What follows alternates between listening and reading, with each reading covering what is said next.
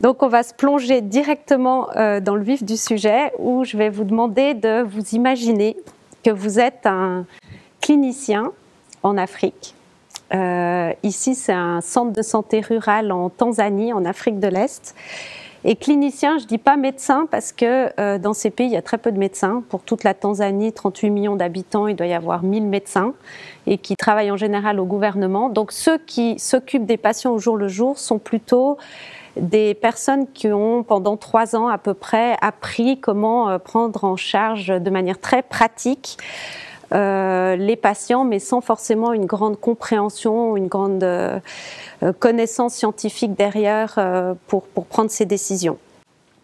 Et donc, vous arrivez le matin, vous avez déjà toute une file de patients qui attendent parce qu'il n'y a pas de rendez-vous, les gens viennent spontanément comme ça et vous commencez à faire un peu votre tri dans la salle d'attente parce que vous savez qu'il y a quelques enfants qui pourraient être très malades et euh, que ça se passe mal en quelques heures. Donc vous sortez votre thermomètre, vous commencez à mesurer la température parce que la température c'est un élément qui tout de suite inquiète si c'est présent. Et effectivement, voilà, le premier il a déjà 39 de fièvre, tout petit. Les enfants dont on s'occupe ont en moyenne 18 mois et euh, il a effectivement la température.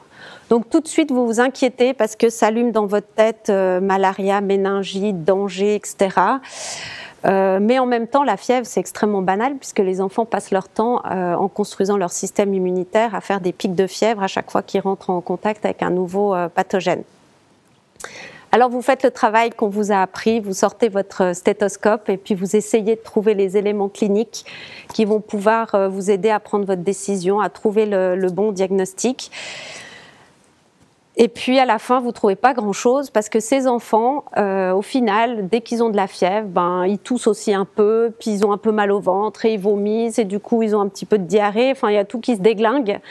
Et du coup, les éléments pour pouvoir arriver au bon diagnostic, euh, c'est vraiment vraiment difficile. Ça change. Je m'étais amusée à compter une fois. Il doit y avoir au moins 150 pathogènes différents qui peuvent faire un tableau clinique comme ça. Alors comment vous faites? À noter d'ailleurs que je vous mets dans le contexte africain, mais finalement pour un médecin aux urgences chez nous, c'est pas très différent quand il doit être face à une situation clinique similaire euh, aux urgences. Et vous voyez le regard interrogateur de l'enfant qui se demande lui ce qu'il a. Le médecin sait pas très bien quoi dire à son papa euh, et sait pas très bien quoi faire.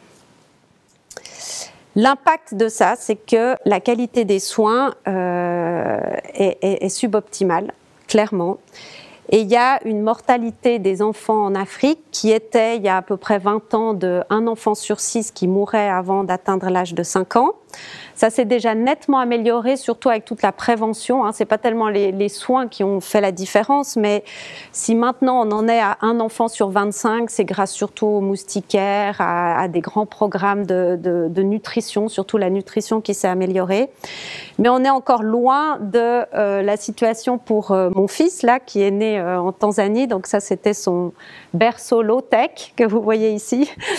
Et eh ben lui, même en vivant en Tanzanie, il avait une chance sur 250 de mourir avant l'âge de 5 ans. Donc il y a encore un, gap de 10 fois que on aimerait bien pouvoir réduire, évidemment. Donc non seulement les enfants meurent beaucoup trop souvent, mais en plus, euh, c'est pas à défaut de leur apporter des médicaments, parce que contrairement à ce qu'on pense, il n'y a pas de pénurie de médicaments en Afrique. Il y a au contraire une pléthore de médicaments très peu chers, produits en Inde et ailleurs, euh, qui fait que en fait, il y a une surconsommation euh, gigantesque. Chez nous, c'est aussi un problème. On voit dans les pays riches, euh, ça s'est stabilisé, mais ça reste très très haut, beaucoup trop haut. Et les pays euh, du Sud sont en train en fait de nous rattraper à grands pas. Donc la, prescription d'antibiotiques explose euh, dans ces pays avec tous les problèmes du coup d'antibiorésistance euh, inhérents à ça. Et on a des, zones où, les pathogènes sont devenus résistants à peu près à tout ce qui est euh, disponible. Donc dans cette situation, voilà, on voulait faire quelque chose. Et euh, la première question que se pose le clinicien quand il est face à cet enfant avec la fièvre, c'est est-ce que ça pourrait être une malaria? Il y avait une décision il y a 20 ans en arrière de dire bon, la mortalité des enfants est avant tout due à la malaria. À l'époque, c'était 80% des fièvres étaient dues à la malaria. Donc on va décidé que tout clinicien qui voit un enfant avec la fièvre lui donne un antimalarique. C'est ce qui a été fait pendant 20 ans. Entre-temps, les moustiquaires et tout le reste sont venus. Donc, à l'heure actuelle, c'est à peu près un enfant sur 5 ou un enfant sur 10 qui a la malaria. Les 9 autres ont quelque chose d'autre. Mais cette habitude de surprescrire, elle est restée et il fallait absolument qu'on puisse amener quelque chose de simple pour qu'au moins la première question qui se pose, est-ce une malaria ou non, puisse être répondue facilement. Et là, en fait, on était en train d'utiliser un petit outil tout simple qui n'a pas besoin d'électricité, rien du tout, qui est un test rapide qui sont devenus maintenant avec le Covid beaucoup plus connus par le grand public. Mais à l'époque, nous, on l'utilisait déjà pour les voyageurs euh, qui revenaient des tropiques parce qu'on avait bien remarqué qu'il était finalement euh, même plus fiable qu'une microscopie, surtout quand elle est faite par des gens qui voient pas très souvent les parasites de la malaria. Donc on s'est dit, il faut qu'on amène euh, cet outil en Afrique qui a en plus le gros avantage d'établir une certaine confiance avec le patient parce qu'il peut voir lui-même son résultat. Et on était face vraiment à des parents qui disaient, mais puisque le diagnostic de malaria sortait tout le temps, est-ce que vous les avez vraiment vus sous le microscope, ces parasites? J'arrive pas à croire que mon enfant a encore une Xème malaria, c'est pas possible. Et avec ça, au moins, il y avait quelque chose de beaucoup plus euh, clair. Mais encore fallait-il changer vraiment un paradigme dans la tête euh, des cliniciens. Ça a été euh, un travail de deux ans où finalement, après plusieurs études, on a pu l'implémenter dans neuf centres de santé à Dar es Salaam, la capitale économique de la Tanzanie, dans des hôpitaux, des dispensaires.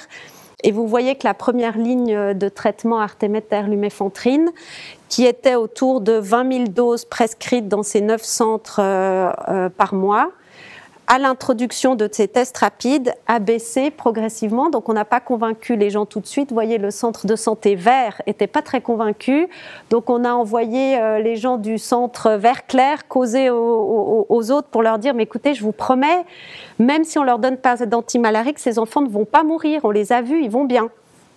Donc vous pouvez y aller, euh, vous pouvez croire le résultat de ce test et ne pas prescrire d'antimalarique quand le test est négatif. Donc vous voyez qu'on a plutôt changé leur vision des choses et on a eu un impact qui s'est maintenu sur euh, le long terme.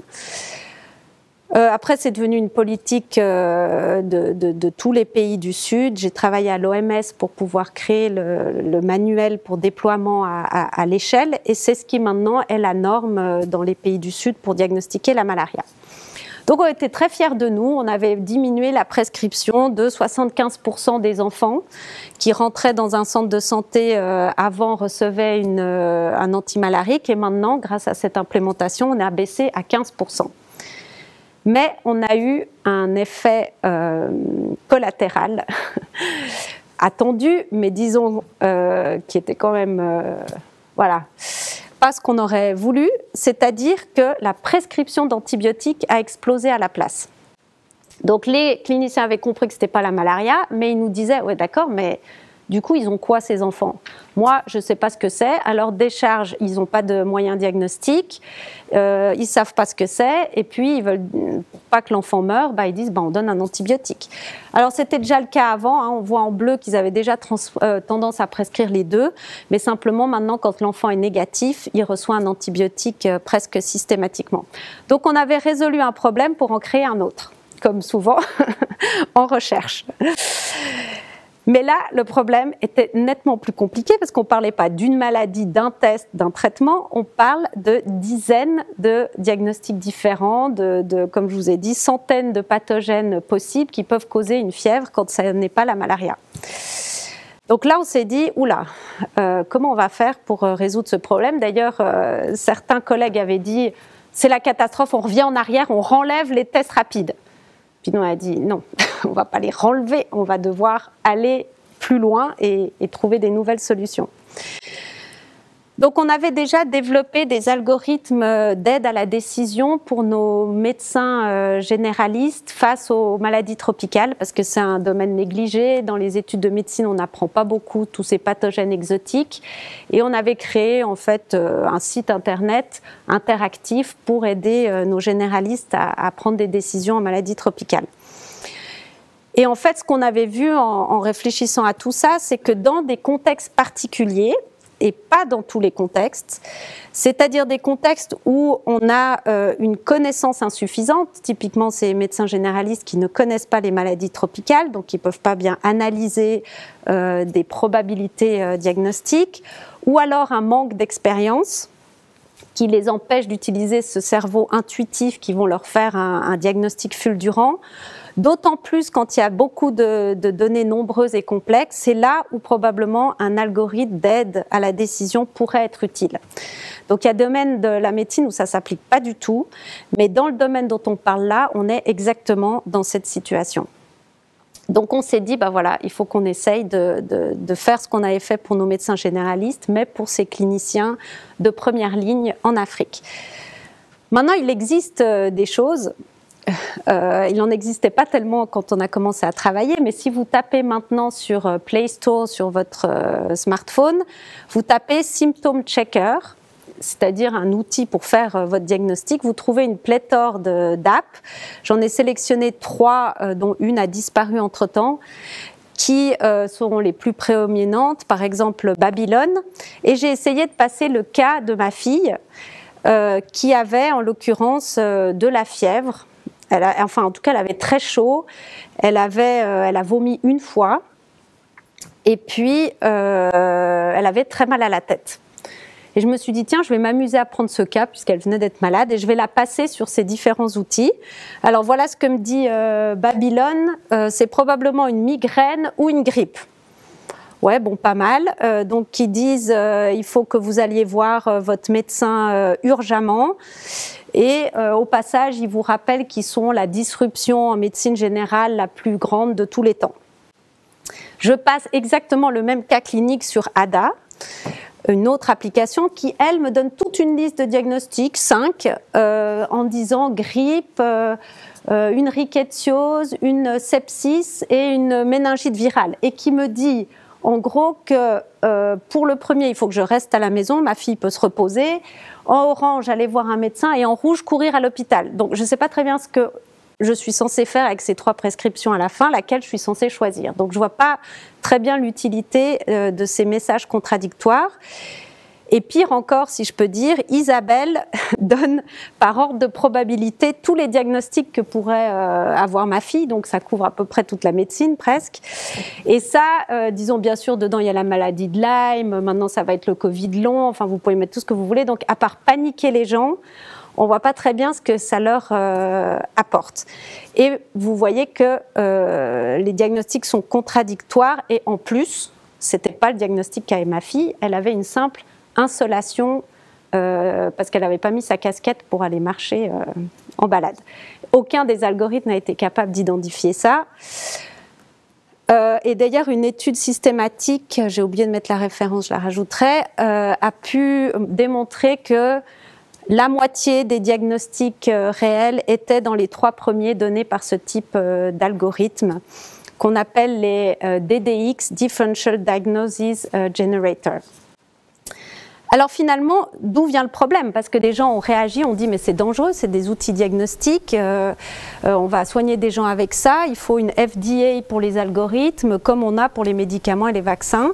C'est urgent euh, de faire quelque chose. Alors un des problèmes de base en fait de ces DDX, comme on les appelle, c'est qu'en fait ils sont pas du tout faits pour le grand public et pour le patient. C'est une erreur de vouloir les appliquer sur cette cible-là. C'est vraiment pour le spécialiste. C'est-à-dire, typiquement, moi, j'utilise Gideon, qui est euh, une application du même type pour chercher des diagnostics rares en fait. Je vois un patient et je me dis ah, il est allé dans tel pays exotique, je me rappelle plus les dernières maladies rares et je vais regarder la queue de la liste. Le début de la liste des maladies fréquentes m'intéresse pas du tout, c'est vraiment la queue pour me dire est-ce que j'aurais loupé un truc rare parce qu'on peut pas connaître par cœur chaque maladie tropicale de chaque pays de la planète. Donc pour le spécialiste, ce genre d'outil est utile, mais surtout pas pour le grand public pour se faire du diagnostic à la maison. Là, le patient lui-même, il a besoin de quelque chose de très simple et comme par hasard, ce n'est pas des startups qui l'ont développé, mais l'association des médecins généralistes néerlandais où j'ai rentré le cas à nouveau de ma fille et qui dit très simplement, donne aucun diagnostic, mais dit il n'y a pas de signe de danger, euh, il faut que boire, se reposer et prendre du paracétamol. Et ce qui est intéressant, c'était exactement ce qu'il fallait faire pour ma fille, même s'il n'y avait pas de diagnostic. Donc souvent en médecine, d'ailleurs, le but, c'est pas forcément de trouver le diagnostic, c'est de savoir quoi faire en pratique. Donc le médecin de premier recours, celui qui m'intéresse là pour l'Afrique, ses questions à lui, c'est d'avant tout, est-ce que je dois ou non hospitaliser ce patient? Est-ce que euh, je dois faire un certain test de labo? Et quelle est la signification de tout ça dans mon contexte clinique particulier? Finalement, c'est ça les questions auxquelles on veut vraiment répondre. Donc là, il faut inventer un nouvel outil qui euh, n'existait pas vraiment à l'époque, qu'on a finalement baptisé, il a fallu lancer un acronyme, alors on les appelle les CDSA, Clinical Decision Support Algorithm. Alors maintenant, voilà, on a ça, c'est un nouvel type d'outil qui, euh, je vais juste vous montrer comment on le construit euh, rapidement. Donc la première étape, c'est contrairement à ces applications qui prétendent couvrir tous les âges, toutes les maladies euh, possibles et imaginables, il faut être targeté. Donc nous, on a dit, OK, on va s'occuper des enfants de 2 mois à 5 ans qui présentent une histoire de fièvre. On a déjà commencé par ça, c'est déjà bien assez large. Et on va définir surtout l'utilisateur cible, c'est-à-dire à quel niveau du système de santé on travaille, parce que ce n'est pas du tout la même chose de faire un algorithme pour un hôpital que pour le pharmacien ou euh, pour un agent de santé communautaire. Et d'ailleurs, on a fait des, déclinaisons de nos algorithmes, par exemple pour l'agent de, de santé communautaire qui doit décider s'il faut envoyer l'enfant dans le centre de santé, et c'est très différent de celui pour le centre de santé, etc.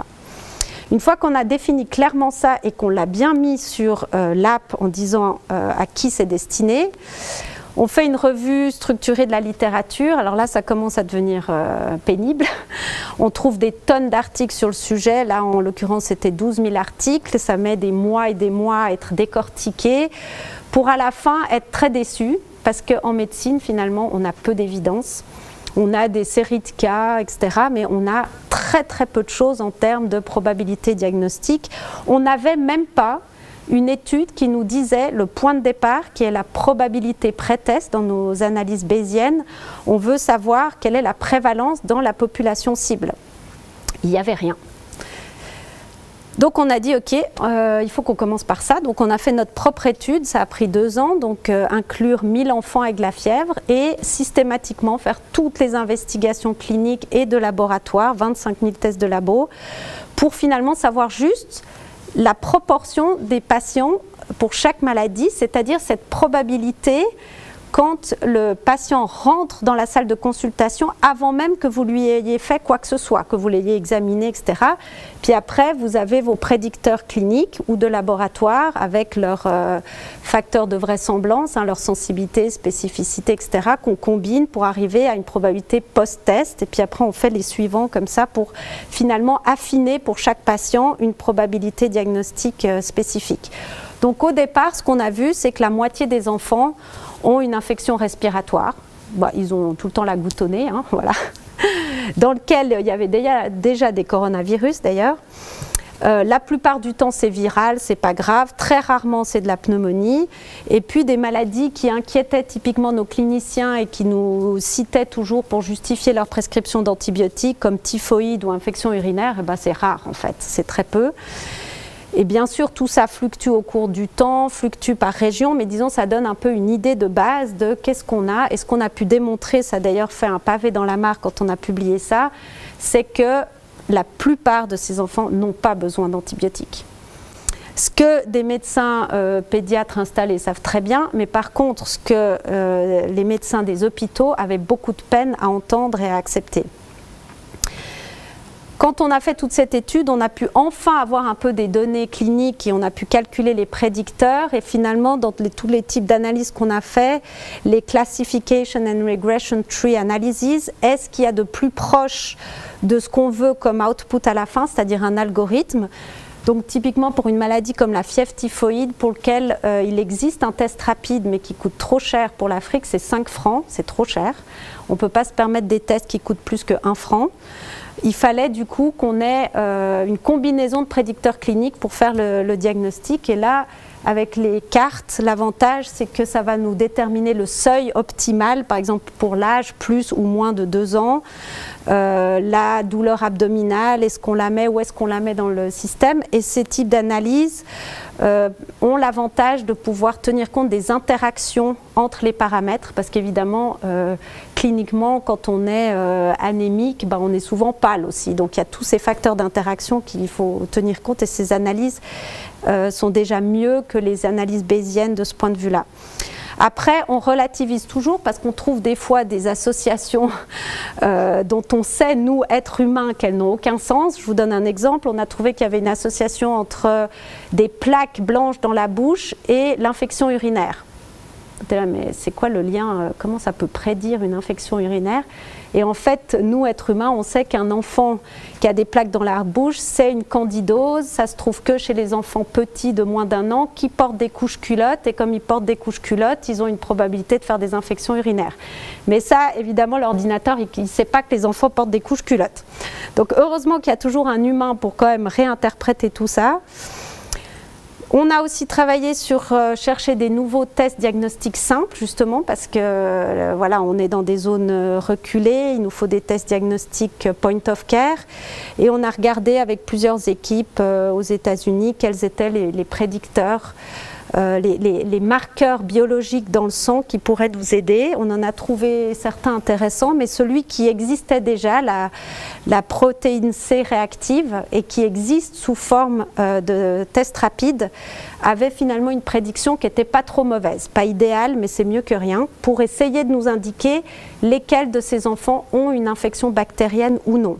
On a fait les mêmes analyses sur des adultes. Là, on trouve des prédicteurs bien meilleurs que chez les enfants.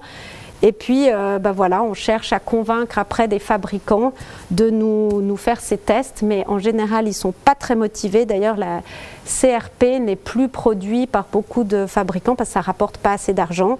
Ils inventent une petite machine qui va faire une mesure quantitative au lieu de faire une mesure qualitative. Pour gagner plus d'argent, nous, on a juste besoin d'un seuil et du qualitatif nous suffit largement. Et puis finalement, donc on va combiner cette probabilité pré-test, nos prédicteurs, nos tests euh, rapides, etc., dans un algorithme qu'on va publier, qui sont disponibles sur notre site parce qu'on veut absolument être transparent, contrairement justement à ces apps que je vous ai montrées avant, qui sont des boîtes noires où ils publient jamais les algorithmes, ce qui est assez inouï parce qu'en fait, il n'y a pas de propriété intellectuelle sur la connaissance médicale. On peut faire un copyright sur les dessins qu'on fait, mais il n'y a pas de, propriété intellectuelle.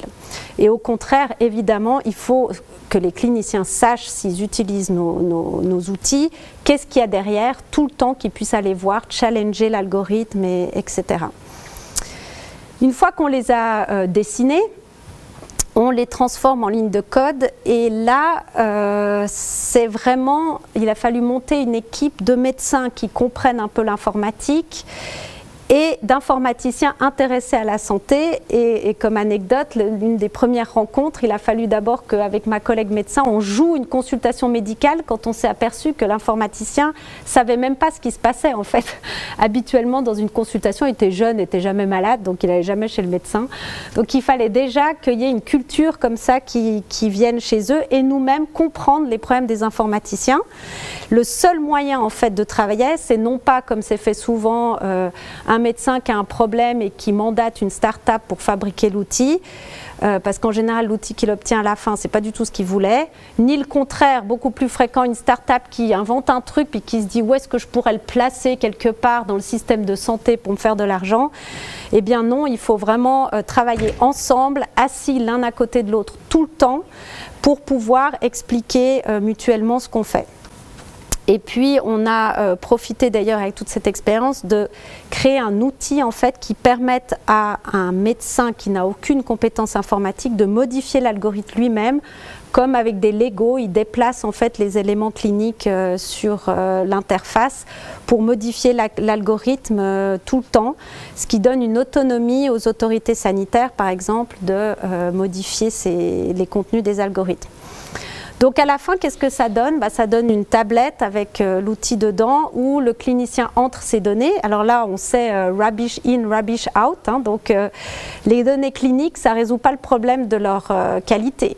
Donc à la question de savoir est-ce que ça remplace, on n'a plus besoin de former les médecins, ils appliquent aveuglément ce qu'on leur propose, pas du tout. Au contraire, il faut renforcer leur formation pour qu'ils examinent correctement l'enfant et que évidemment le diagnostic qu'ils ont à la fin soit correct. Donc ça leur gagne du temps, cet outil, pour la partie euh, raisonnement et ça leur laisse plus de temps pour mieux examiner l'enfant et mieux discuter avec les parents du résultat. Et on a essayé de réduire vraiment au minimum euh, ce qui était nécessaire pour pas alourdir, c'est déjà beaucoup plus lourd hein, d'amener des outils comme ça dans ces pays, c'est ce qu'on va discuter après. Mais voilà, finalement, euh, on s'en sort avec un oxymètre pour mesurer la saturation en oxygène, l'hémoglobine qui est un prédicteur très important de, de finir à l'hôpital, un test rapide pour la malaria, un test rapide pour savoir si c'est une infection bactérienne et un test rapide de VIH. Et avec ça, on a une qualité des soins qui euh, sincèrement devient vraiment correcte, euh, raison pour laquelle une des responsables des, des urgences de pédiatrie euh, d'un hôpital m'a dit mais dis donc on ne pourrait pas implémenter ça aussi chez nous parce que pour faire un premier tri ça nous aiderait bien. Donc ça donne ça sur le terrain et ça n'est que le début de l'aventure parce que pour éviter justement d'avoir des outils mauvais, eh bien on a penser un cycle de validation de la même manière qu'on le fait pour les médicaments, les vaccins, euh, en faisant des phases 1. On en a bien entendu parler maintenant pour les, vaccins contre le Covid. Alors pour nous, l'équivalent, si vous voulez, c'est qu'on a une phase 1 où on va tester nos, outils dans le laboratoire informatique et aussi voir euh, le retour, le user experience euh, pour voir si c'est utilisable. Après, on va faire des, phases 2, dont je vais juste vous montrer le résultat, où on veut s'assurer que c'est sûr et efficace. Puis après, on passe dans le terrain en conditions plus réelles pour voir si on a un impact, etc. On continue et on essaye d'adapter et de tenir compte avec des études de sciences sociales de l'épidémiologie et du contexte. Donc ça, c'est par exemple l'étude randomisée contrôlée, euh, un standard qu'on a fait pour valider. On en a fait plusieurs. En fait, ce cycle, il tourne comme ça, mais on fait des allers-retours continuels. Hein. ça fait 15 ans qu'on bosse. Et là, c'est celle qu'on a faite euh, pour euh, la deuxième génération d'algorithmes qui s'appelle IPOC. Donc on avait un bras où il travaillait comme d'habitude, un bras avec notre première génération d'algorithmes et un bras avec l'IPOC, le, dernier, et on regardait vraiment le taux de guérison au jour 3, au jour 7, les hospitalisations, les décès, euh, pour véritablement s'assurer qu'on était sûr. Ce qui d'ailleurs est maintenant une nouvelle réglementation qui est en vigueur en Europe depuis cette année. Les fabricants de ce type d'outils comme le nôtre doivent prouver euh, ce qu'on fait là. Et ça, ça, demande beaucoup de ressources et beaucoup de données. Donc évidemment, pour une start-up qui veut rentabiliser son outil en six mois, c'est difficile. Donc sur le taux de guérison, on s'attendait même pas forcément à avoir un effet parce que euh, la plupart de ces enfants, on leur fait rien, ils guérissent tout seuls parce qu'ils ont des choses pas graves. Donc 95% étaient guéris spontanément, mais quand même, on a pu augmenter un tout petit peu leur taux de guérison à 98. La mortalité, on n'avait pas le pouvoir euh, parce que c'est un événement relativement rare, mais on a réduit la mortalité d'à peu près de moitié, mais ce n'est pas statistiquement euh, significatif. Mais bon, en pratique, pour un pays comme la Tanzanie, ça ferait quand même un million d'échecs cliniques évités par an vu la fréquence à laquelle ces enfants euh, sont malades, donc c'est pas mal. Mais en fait, ce qui nous intéressait beaucoup plus, c'était l'impact sur la prescription de ces antibiotiques, vous vous souvenez, qui sont prescrits systématiquement, qui détruisent la flore intestinale, etc.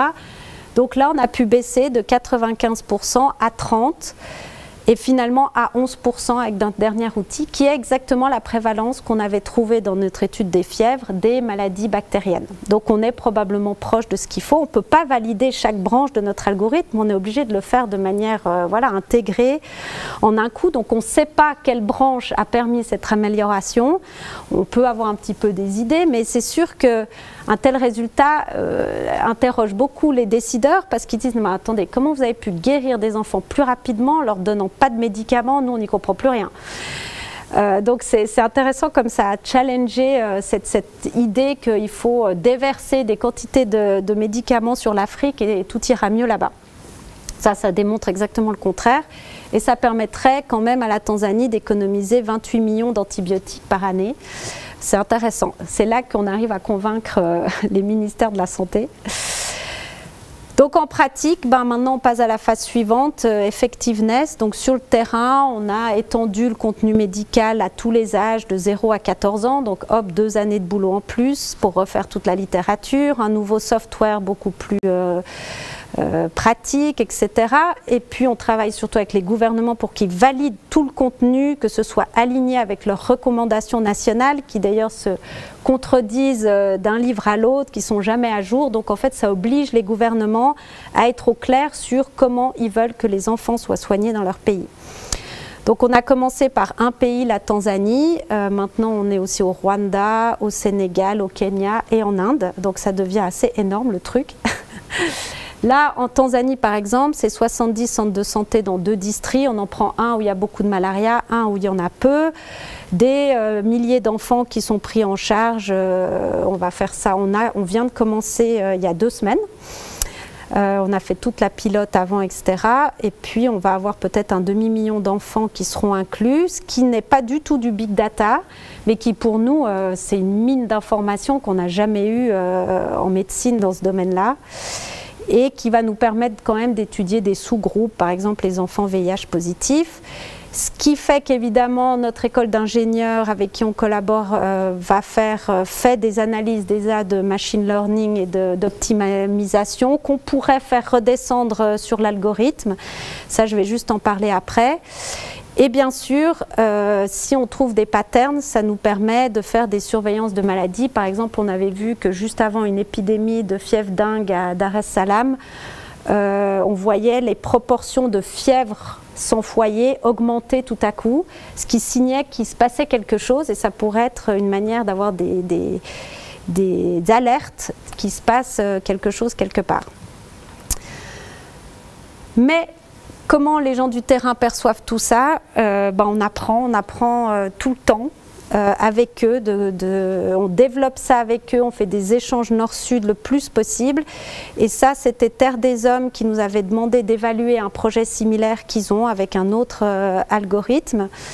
Et typiquement, cette accoucheuse euh, disait, ben, si tu enregistres dans le REC, c'est le nom de leur outil, tu apprends en même temps, même si un jour il n'y a plus de tablette, tu arrives à bien traiter les enfants, parce qu'elle disait qu'elle mémorisait en fait l'écran et voilà, moi j'avais un petit peu peur de les rendre bêtes. Hein. C'est tout le problème, euh, comment ils gagnent de la connaissance ou est-ce qu'ils en perdent. Donc on doit absolument créer des outils qui rendent les gens plus intelligents, c'est-à-dire des petits boutons sur lesquels ils peuvent appuyer tout le temps pour avoir des images, des définitions et surtout on vous propose ce diagnostic parce que votre patient, il a telle et telle constellation. Donc comme ça, ils apprennent vraiment tout le temps, tout le temps, au fur et à mesure qu'ils utilisent l'outil pour que le jour où il n'y en aura plus, ou qu'il n'y a plus d'électricité, euh, comme elle disait, ben, elle sait encore et elle a mieux appris comment prendre en charge ses enfants. Et puis, eux, ils se sentent euh, voilà, une plus grande confiance en eux parce que, en fait, d'avoir toutes ces guidelines et, ces aides sur leur bureau, c'était un peu la honte, en fait. Ils avaient, ça donnait l'impression qu'ils ne savent pas faire leur métier, tandis qu'une tablette donne plutôt l'impression de high-tech et euh, voilà, qui maîtrise. Et les, villageois l'ont baptisé la tablette magique. Et donc, comme il dit, bah, tu as ça en face de toi et ça te permet de maîtriser. En fait, ça, je veux dire, vraiment, ils étaient paumés et avec ça, ça va quand même un peu mieux. Du côté du village, donc de l'autre côté, euh, le chef du village qui dit un truc un peu mystérieux, on était dans les ténèbres, maintenant on est dans la lumière, en fait il voulait dire qu'on ne pouvait plus tricher, c'est-à-dire qu'au lieu de prescrire des tonnes de médicaments, ils étaient euh, maintenant, ils savaient que tout est enregistré sur une tablette, ça fait un peu de pression pour euh, pas demander des bacs chiches, etc. Donc lui, il était extrêmement euh, satisfait. Et puis le, le, représentant du village dit, ben c'est vrai que maintenant les infirmiers nous posent beaucoup plus de questions qu'avant et touchent plus les enfants. Donc voilà, moi qui étais très inquiète de, de faire une disruption de la qualité de la relation, en fait, ça l'a plutôt amélioré, mais c'est évidemment un contexte très particulier. On a fait des analyses euh, similaires en Suisse avec des généralistes et notre application euh, pour les, voyageurs autour des tropiques. Et là, c'est plus compliqué parce que les, généralistes ont le nez sur la tablette et, et oublient de lever les yeux pour regarder leurs patients. Ça peut perturber la consulte. Donc toujours à surveiller pour se poser des questions. Donc voilà, ça c'était la partie de la jolie histoire euh, quand tout va bien, quand on est en ressources illimitées, qu'on peut acheter des tonnes de tablettes sans se poser de questions. Mais voilà, euh, pendant euh, tous ces programmes, tous ces voyages, en habitant sur place en Tanzanie, j'ai commencé à réaliser qu'il y avait des choses qui étaient plus compliquées plus inquiétantes que je pensais en apparence. La première chose qui m'a frappée, c'est qu'en analysant nos données, en fait, les prédicteurs d'échecs cliniques sont en tout premier un enfant qui a des problèmes respiratoires, pneumonie, en deuxième un problème de malnutrition sévère et en troisième une anémie et finalement VIH positif, mais ça venait plutôt plus bas. Et justement, c'est exactement ce qui va et qui est déjà en train de s'empirer dans les pays du Sud. Ça va arriver aussi chez nous à cause du réchauffement climatique. Euh, ben, la pollution de l'air explose. Euh, ça, c'est, j'ai pas mis la référence, mais c'est en Inde. On en est dans certaines villes à, l'équivalent de fumer 40 cigarettes par jour. Donc on voit des enfants hein, qui commencent à avoir des, des, problèmes respiratoires de plus en plus importants. Et surtout, ce qui m'a complètement déprimée, c'est que pour la nutrition, on avait réussi depuis euh, bah, des dizaines d'années à diminuer le nombre d'enfants euh, mal nourris, le nombre de personnes mal nourries, et pour la première fois, euh, cette courbe repart dans l'autre sens. Et ça, c'est complètement désespérant. C'est bien sûr dû aux récoltes qui deviennent de plus en plus difficiles. Il y a actuellement maintenant des problèmes de famine gigantesques en Afrique et ça va pas s'améliorer. Ça veut dire qu'en gros, moi je pédale dans la choucroute parce que j'essaye d'un côté, on amène ces outils pour améliorer et on sait que la malnutrition va augmenter, qui est notre prédicteur le plus important pour un échec clinique. Donc en fait, euh, on va perdre, et c'est bien ce que dit l'OMS, on va perdre tout ce qu'on a acquis en santé globale depuis ces 20 dernières années à cause de ces impacts euh, systémiques. Donc c'est quand même assez désespérant et c'est vrai que j'ai voulu retourner voir sur le terrain ce qui se passe. Donc je suis allée vivre dans un village extrêmement reculé du, du, du Ciné Saloum au Sénégal pendant un mois pour travailler avec Mamadou qui fait le même métier que moi. C'est l'agent de santé communautaire du village, donc il s'occupe de la santé de tout son village. Et puis, ben, j'ai travaillé avec lui et essayé de comprendre vraiment qu'est-ce qui se passe sur le terrain. Et c'est vrai que ben, le réchauffement climatique, je l'ai vu avec la montée des eaux. Donc euh, ils mettent tous leurs déchets pour, euh, pour bloquer euh, devant leur maison, éviter que l'eau envahisse leur maison. ça, c'était une de nos filles qui était avec la fille de Mamadou à chercher de la nourriture. Ça leur prenait une journée pour trouver des légumes pour qu'on puisse manger le, le soir. Donc c'est un énorme travail parce que il y a de moins en moins de légumes qui poussent. Et puis les enfants ben, euh, doivent aller chercher de l'eau douce de plus en plus loin parce que l'eau salée monte et puis qu'ils ont de moins en moins accès à l'eau. Donc ça crée des stress psychologiques énormes. Euh, en fait, les consultations qu'on a fait avec Mamadou, c'était beaucoup de, psychiatriques, en fait, des gens angoissés, inquiets parce qu'ils savent que leur village, qu'on voit ici, on avait un drone, on a pu le filmer, euh, nous, on était en bateau là, et puis euh, bah, il va être rayé de la carte en gros. Donc ils vont aller où ces gens? Alors que dans leur village, les choses se passaient euh, plutôt bien, avec juste Mamadou qui s'occupe de leur santé.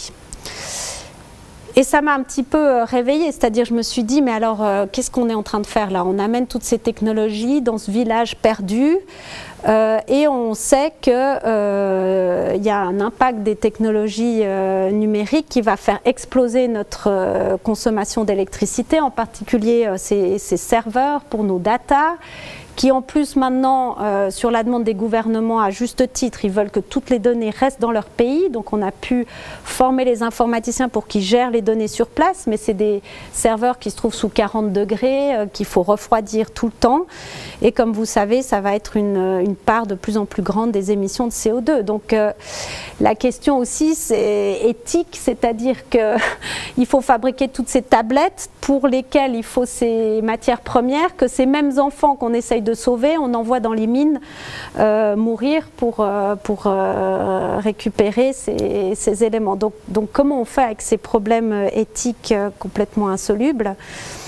Euh, une autre difficulté que j'ai réalisée, c'est que dans notre équipe, euh, notre responsable du machine learning, euh, quand on a commencé à discuter climat, que j'ai commencé à présenter un peu tous ces problèmes, elle a eu un déclic, elle a dit mon Dieu, mais qu'est-ce qu'on est en train de faire en fait?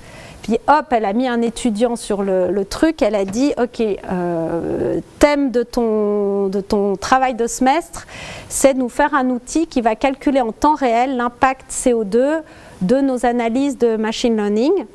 Et ça, c'est un des graphes euh, qu'ils m'ont donné. Donc, quand ils font des analyses euh, plutôt conventionnelles, euh, ça vous connaissez mieux que moi, on a une prédiction de, de la maladie qui est autour des 80%, avec un impact d'équivalent CO2, de grammes d'équivalent CO2 de 0,03.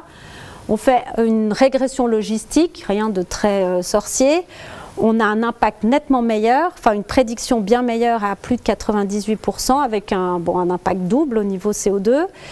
Mais quand on passe dans le deep learning, euh, les, réseaux de, neurones, vous voyez la prédiction euh, améliorée qu'on a, on passe de 98.75 à 98.81, mais alors par contre avec 0,93 d'équivalent grammes d'équivalent CO2. Et ça, c'est juste pour tourner l'algorithme une fois. Et évidemment, on le fait tourner des centaines et des centaines de fois pour apprendre des données. Donc finalement, euh, qu'est-ce qu'on est en train de faire là? C'est vraiment la balance entre combien de vies on sauve grâce à notre intervention, mais combien de morts on crée par l'impact carbone ou les dégâts environnementaux de nos projets. Mais là, les choses sont très compliquées parce qu'en fait, d'un autre côté, on diminue la prescription d'antibiotiques et on sait que la fabrication d'antibiotiques en Inde, c'est effroyable sur le plan environnemental. Donc si on diminue par 10 quand même, vous avez vu 28 millions d'antibiotiques économisés sur le pays, bah peut-être que ça pourrait contrebalancer. Donc du coup, on a une collaboration avec l'Institut de géosciences qui va nous faire une analyse du cycle de vie pour voir exactement qu'est-ce qu'on a en termes euh, de l'impact de ces outils électroniques d'un côté et l'économie des antibiotiques de l'autre. Mais ce qui va être très difficile en fait pour faire cette balance, c'est qu'on parle de choses complètement différentes. C'est-à-dire comment on peut comparer euh, l'impact CO2, mais euh, l'empoisonnement de l'environnement qui tue des personnes, etc. Donc, est-ce qu'on va voir vraiment la réponse? Moi, ce que j'espère de cette analyse, c'est qu'on sache au moins où sont les lieux de, plus gros problèmes et qu'on dise, bah, typiquement, euh, le problème c'est la tablette.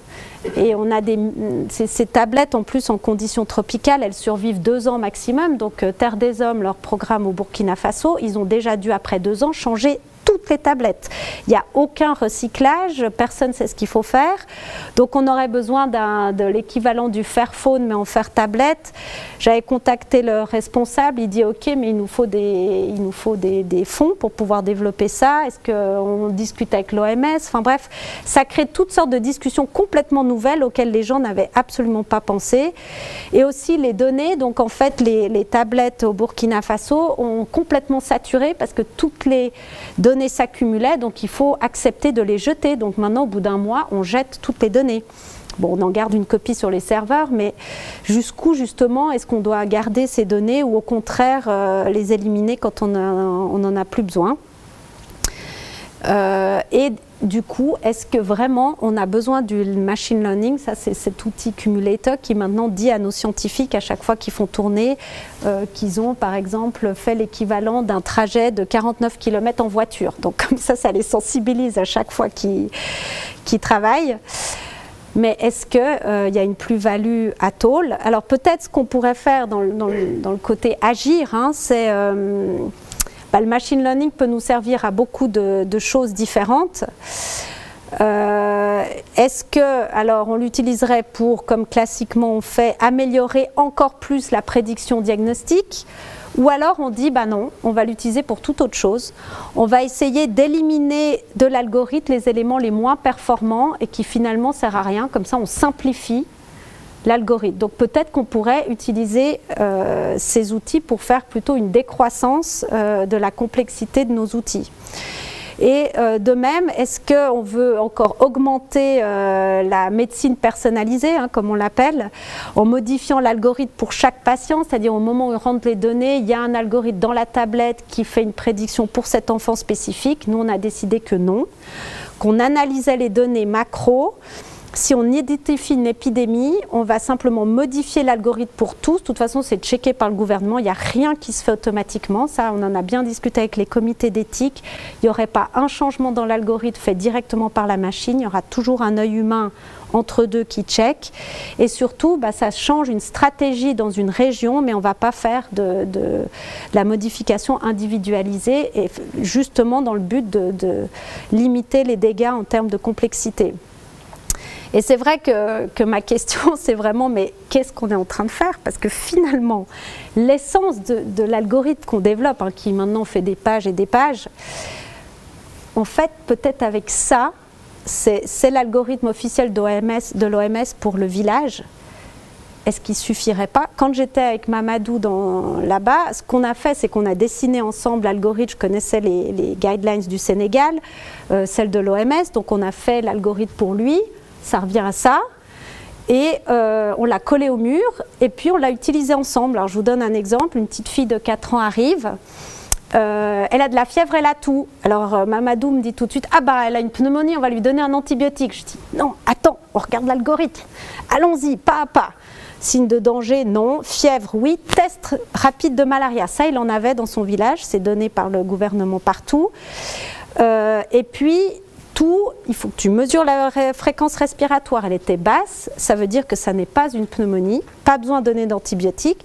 Et finalement, la petite, elle avait un test rapide positif pour la malaria, elle avait une malaria et il lui a donné un antimalarique. Donc cette petite fille sans algorithme aurait reçu un antibiotique et serait décédée d'une malaria, tandis que là, il lui a sauvé la vie juste avec ça. Donc est-ce que peut-être ça, ça suffirait? Donc c'est vraiment la, question de où, on va mettre... Euh, la limite dans, cette complexification au, cours du temps où on rajoute des inputs dans notre système et quel est vraiment le nombre de vies à la fin qu'on va sauver. Donc verticalement, ça pourrait être le nombre de vies ou ça pourrait être les coûts par vie sauvée, ça peut être n'importe quel indicateur qu'on trouve pertinent ben, ce bout de papier collé au mur, euh, c'est sûr qu'on a déjà une nette amélioration du nombre de vies sauvées. On rajoute un test de malaria, là on a aussi une énorme euh, plus-value. Mais quand on commence avec nos outils, probablement que le bénéfice devient plus marginal. Euh, si on rajoute de l'intelligence artificielle, moi je crains qu'on atteint vraiment le seuil. Et puis, si on mettait de l'intelligence artificielle dans la tablette, ou si encore pire, on crée des outils euh, voilà, de dernière génération, comme ce robot qui a réussi à passer l'examen de médecine en Chine, bah voilà, je pense qu'on commence à faire des dégâts. Et euh, voilà, avec un monde qui se dégrade de plus en plus, ça va tout pousser vers, euh, vers la droite. Donc, moi, j'en sais rien. Hein. Peut-être que la conclusion de, toutes ces évaluations qu'on va faire, c'est peut-être de dire, ben, revenons à un bout de papier, j'en sais rien. restons ouverts à toute possibilité, restons critiques, parce que l'enjeu, c'est que la santé numérique, c'est une ressource limitée, comme tout le reste. Donc il va falloir choisir, ça va être des enjeux éthiques énormes. Est-ce qu'on l'utilise euh, chez nous pour faire du jogging et mesurer notre fréquence cardiaque en continu ou est-ce qu'on le met en priorité pour les pays du Sud euh, qui, en ont besoin? On a vu ce que ça donnait avec le vaccin Covid, donc ça fait assez peur de savoir où vont aller les ressources quand elles vont être limitées. Ce qui est d'une injustice euh, totale, évidemment, puisque l'empreinte de ces pays euh, en termes de, carbone euh, moyenne suisse, 13 tonnes, 3 planètes, mondiale 7 tonnes, et puis Mamadou dans son village, même pas une tonne. Donc est-ce que lui, il n'aurait pas droit à un petit peu émettre un peu plus? Et nous, on émet un peu moins. Enfin, moi, je ne peux plus regarder mes collègues tanzaniens dans les yeux en me disant que qu'on leur apporte tous ces programmes, euh, mais qu'en fait, si on voulait sauver leurs enfants, la meilleure chose qu'on aurait à faire, c'est diminuer nos émissions. Donc euh, voilà pour le mot de la, pour, terminer cette présentation, euh, je veux dire l'OMS est consciente de ces enjeux. Ils n'ont pas beaucoup de moyens pour travailler là-dessus, mais Tedros, euh, le directeur, le docteur Tedros, a dit nous devons nous assurer que les innovations et technologies aident à réduire les inéquités dans notre monde au lieu d'être une raison de plus pour que les gens soient laissés pour compte. Les pays doivent être guidés par l'évidence pour établir des systèmes numériques harmonisés et non pas séduits par chaque nouveau gadget. Et c'est exactement ce qui se passe chez nous dans les pays riches il y a des gadgets qui sortent tout le temps, il n'y a aucun tri, les autorités sanitaires ne, nous disent pas lesquels sont solides ou, sont pas solides, c'est une jungle totale. Et pour ça, dans les pays du Sud, les pays à ressources limitées, l'avantage, c'est qu'on a, typiquement nous, notre outil, on a passé devant une instance, une commission euh, pluridisciplinaire en Tanzanie qui a évalué notre outil et dit est-ce qu'on veut un outil numérique comme ça, parce qu'on leur en présente tous les jours. Hein. Et donc eux, ils font le tri, ils disent non, ça on n'a pas besoin, ça, ça nous sert à rien, ça oui, mais à condition que vous arriviez à l'interfacer avec euh, notre registre électronique euh, du patient, qui est là-bas universel, ce que nous, on est incapable de faire chez nous. Et donc, euh, voilà, ces pays ont une vraie réflexion sur qu'est-ce qui est utile ou, ou qu'est-ce qui est un gadget. Au final, les technologies numériques ne sont pas une fin en soi, évidemment, ce sont des outils vitaux pour promouvoir la santé, garder notre monde sûr et servir les plus vulnérables. Donc voilà, c'est un petit peu le point de départ que je voulais partager avec vous de mon expérience et de mes interrogations euh, voilà, un peu vertigineuses et pour lancer le débat avec vous euh, qui connaissez bien mieux ces autres domaines que moi, qui connaît surtout euh, juste la santé et avoir vos impressions et vos feedbacks à partir de là.